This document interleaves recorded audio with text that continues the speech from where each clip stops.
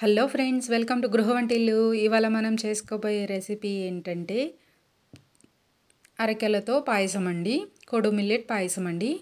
ఇది చాలా బాగుంటుందండి చాలా టేస్టీగా ఉంటుంది. దీనికి మనం పాలు చాలా తక్కువగా వాడతామండి. మనకి ఇది ఎంతో హెల్దీ అయిన రెసిపీ అండి. మీరు కూడా ఒకసారి ట్రై చేసి చూసి ఎలా వచ్చిందో నాకు కమెంట్స్ రూపంలో చెప్పండి. చూసారా మనం ఇది చూస్తూ ఉంటుంటే చిన్న సగ్గుబియ్యంతో చేసిన పాయసంలాగా కనిపిస్తుందండి. టేస్ట్ కూడా అంతే బాగుంటుందండి. దీనికి ముందుగా ఒక కప్పు అరికెలు తీసుకోవాలి. కోడు మిల్లెట్ అండి చూడండి నేను చూపిస్తున్నాను కదా. మీకు యాప్ బ్రాండ్ అవైలబుల్ ఉంటే అది తీసుకోండి.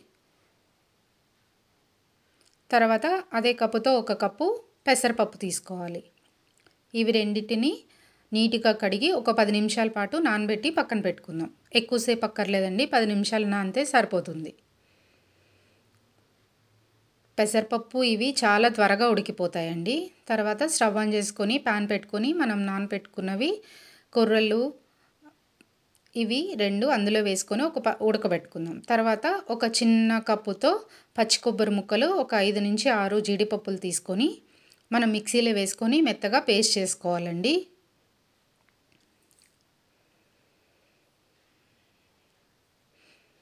చూడండి ఇలా మెత్తని పేస్ట్ లాగా అయింది కదా దీన్ని పక్కన పెట్టుకుందాం.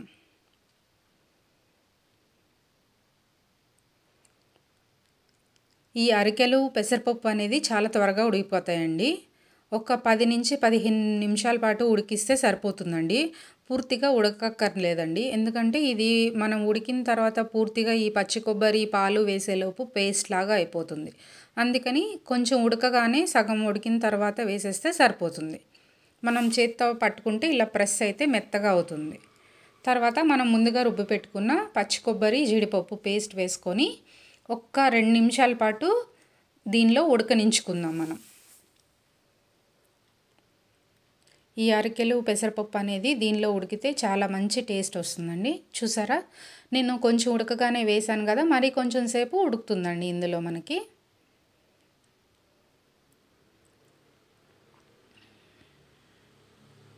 ఇది ఉడికింది కదండి ఇంకొంచెం. తర్వాత మనము దీనిలో ఒక కప్పు పాలు తీసుకుందామండి.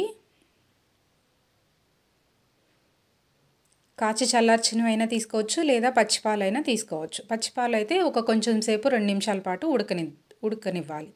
చూడండి ఇలా కొంచెం చిక్కగా అయ్యే వరకు తీసుకో ఉడికిన తర్వాత పక్కన పెట్టుకొని తర్వాత ఇంకొక పాన్ తీసుకొని అందులో మూడు కప్పులు బెల్లం వేసుకోవాలండి. మనం ఏ కప్పుతో అయితే కొలుచుకున్నామో అదే కప్పుతో మూడు కప్పులు బెల్లం వేసుకోవాలి. దీనిలో కొంచెం నీళ్ళు పోసుకొని చిక్కగా పాకం వచ్చే వరకు ఈ బెల్లాన్ని మనం ఉడకనించుకుందాం.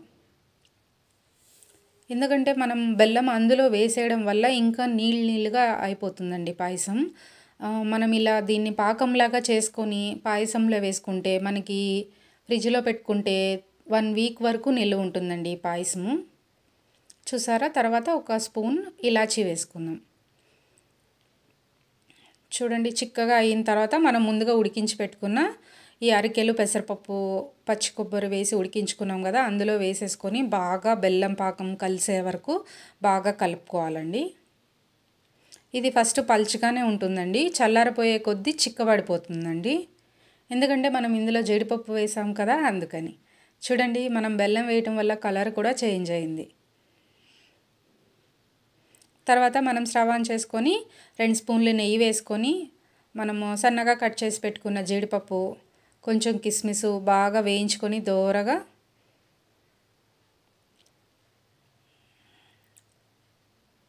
కిస్మిస్ కూడా వేసుకొని కొంచెం వేగిన తర్వాత బాగా వేయించేసుకొని మనం ముందుగా రెడీ చేసి పెట్టుకున్న పాయసంలోకి వేసేసుకోవడమేనండి.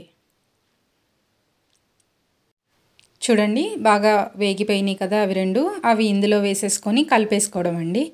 అంతేనండి వేడి వేడిగా రెడీ అయిపోయింది. అరికెలు పెసరపప్పుతో పాయసం అండి. దీన్ని మనము సర్వింగ్ బౌల్లోకి తీసేసుకోవడమే. బాగా కలుపుకుంటే సరిపోతుందండి ఇవి.